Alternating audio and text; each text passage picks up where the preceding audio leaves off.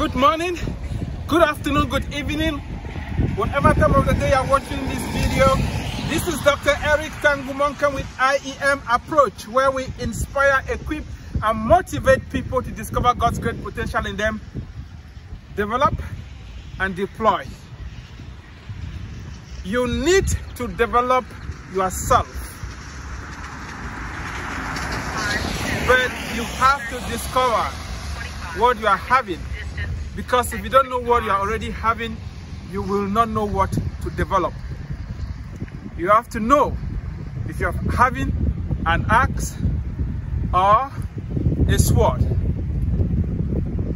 To sharpen yourself, you need to know what you are having in the inside of you.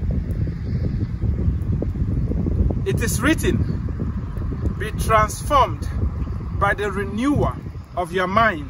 Be transformed by the renewer of your mind. You have to look in the inside of you, not on the outside. It's a lot of mind work. You have to watch the books that you read, the people that you hang around with, what you read, what you watch, what you listen to. The information that comes into you is going to make or break you.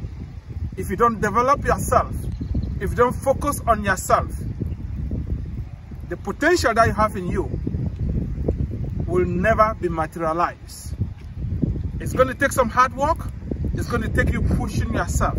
It's going to take some time. But invest in yourself and develop yourself. When you do that, you're going to get to the top. When you do that, you're going to reach your full potential.